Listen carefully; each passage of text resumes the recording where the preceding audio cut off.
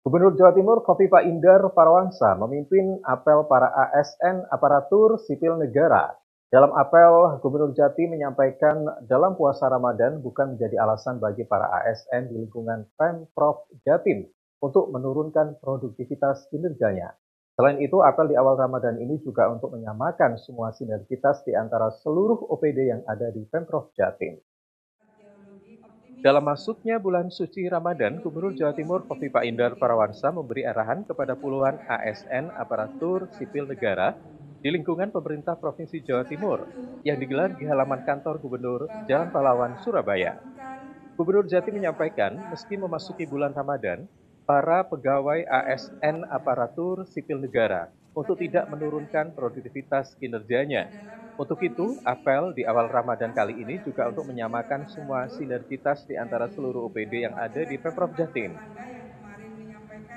Jam tugas, karena kalau katakan di Bapeda, di Disub, itu kalau musim-musim begini ya mereka bisa kerja 24 jam, LKPJ sedang dijalankan di Biro Pemerintahan, menyiapkan RKPD, tetapi resminya kan pasti ada regulasinya. Jadi uh, tentu kita berharap bahwa produktivitas dari seluruh kinerja Pemprov tidak boleh berkurang.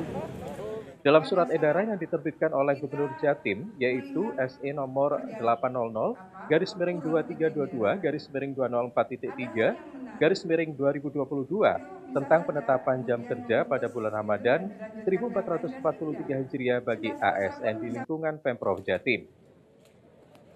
Sesuai surat edaran gubernur selama bulan Ramadan, jam kerja para ASN di seluruh biro, badan, dinas, hingga semua UPT dibagi menjadi dua aturan, yakni pemberlakuan 5 dan 6 hari kerja.